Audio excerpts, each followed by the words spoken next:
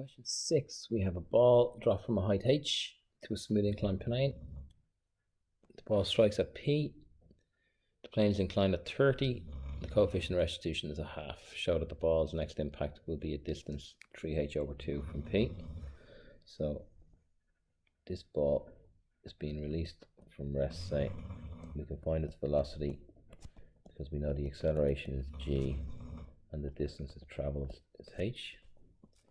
So using v squared is equal to u squared plus 2as. We get v squared is equal to 2gh. So the velocity is the square root of 2gh. So this vector then is going to be, we bring our right angle down here, to have my plane as my i direction, we have a 30 degree angle. We can a couple of ways to do it. We have a 30 degree angle, which will make this 60 this one's 60 this one 30 so we can use the 60 or the 30 so u um my i direction is going to be adjacent to 60 so u cos 60 in the i direction and it's positive negative so negative u sine 60 in the j direction. And my u is the square root of 2gh and the cos of 60 is equal to a half so it's times 1 over 2 in the i direction minus u and the sine of 60 is root 3 over 2 in the j direction. Sorry my u I need to put in my u. I have my u the square root of 2gh the dog is snoring putting me off. The square root of 2gh by the sine of 60 which is root 3 over 2 in the j direction so that's just root 2 gh over 2. You can tidy this up whatever way you want. There's many different ways to write it. Minus root 2 by root 3 is root 6. So I'll just put that inside root 6 gh over 2 in the j direction. So this is our vector before, after impact, I will remain unchanged so the square root of 2gh over 2. In the i direction, we'll have to multiply by minus e, so we're going to get plus, and e is a half. So we just put a 4 on the bottom here, so plus the square root of 6gh over 4 in the j direction. Now we get the magnitude of this, we get u, and then we have another angle going this way, which we do have some information about based on based on Vy and Vx. So let's get the magnitude first. The square root of both of these things be squared. So we're going to get 2gh over 4 plus 6gh over 16. That's just, that's going to be the square root of gh over 2 plus 3gh, that's a 16, 3gh over 8. And that will be 4gh over 8 plus 3gh over 8, the square root of 7g, and at the h here, gh over 8 is the magnitude, the tan of the angle. The tan of A, let's we called it A, the tan of A is equal to the square root of 6gh over 4 divided by the square root of 2gh over 2. Turning this upside down and multiplying, we're going to get the square root of 6gh over 4 times 2 over the square root of 2gh. Now we can separate them so that gh's will cancel. Imagine it's the square root of 6 I'll get rid of the 4 first. It's the square root of 6 by the square root of gh over 2 by root 2 by root gh. So we can separate them out and cancel them. So we're going to get root 6 over 2 root 2. And root 6 is root 3 by root 2. Root 3 by root 2 over 2 by root 2 gives root 3 over 2. So that's what tan of A is. So let's just do a quick get sine and cos. here's a root 3 over 2 would be the square root of 4 plus 3, 7, square root of 7. So cos A is equal to 2 over root 7. Sine A is equal to root 3 over root 7.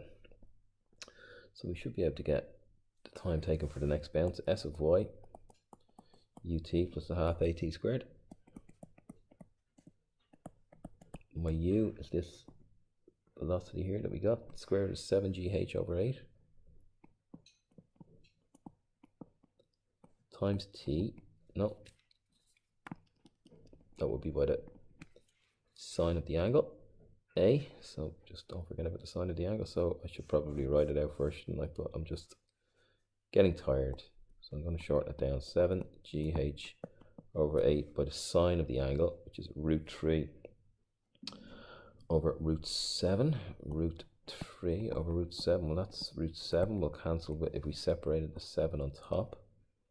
So we can come back to that in a minute. And then the acceleration is negative in the j direction so minus a half. The acceleration in the j direction. Just remind me what it was. We even write it down? We didn't write it down, but it's going to be minus g by the cos of 30 minus g by the cos of 30 so that's root 3 over 2 so minus root 3 over 2 times g I left out my t here times t squared. So when is this equal to naught? If I factor out my t, I'm going to get the square root of 3 on top with gh as well. So the square root of 3gh over the square root of 8. can put all of them inside the same square root. And then minus root 3 over 4 gt so when is this whole thing equal to 0?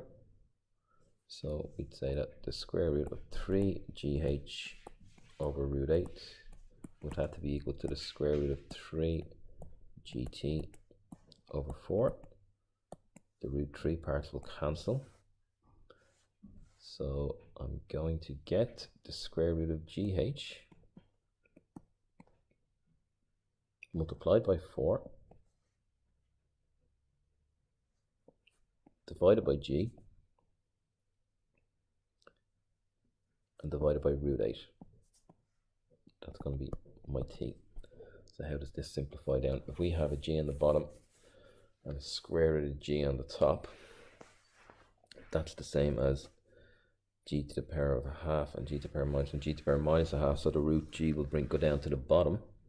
So I'm going to have 4 root h on top over 8, root 8 is 2 root 2, and the g will end up on the bottom as a square root. So that will make it a 2 on top. If I multiply by root 2 over root 2 to get rid of the surd in the bottom on top, I will get 2 root 2h. So 2 root 2h, you can both them inside, and on the bottom I'm going to get 2 root 2 by root 2 by the square root of g. So the time taken for the second bounce is equal to the square root of 2h over g. So now we need to find s of x at this time. So it's going to be ut. So that root 7 gh over 8 root 7 gh the whole thing is a square root and that would be by we had the sine of the angle last time it's going to be the cos of the angle this time the cos of the angle we got to be 2 over root 7 2 over root 7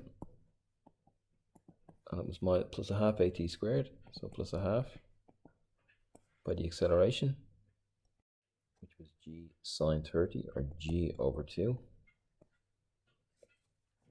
and I have to multiply this guy by t and this guy by t squared. So let's do that underneath. So we've got the square root of 7gh times 2 over the square root of 8 by the square root of 7 times t, which is root 2h on top and root g on the bottom. So we can cancel our sevens. So that's root gh. So we've got 2, I'll separate the numbers, 2 root 2 by root gh by root h. So that's by h by root g. And on the bottom we have 2 root 2, which is what root 8 is, by root g. So here this part is just going to give me h.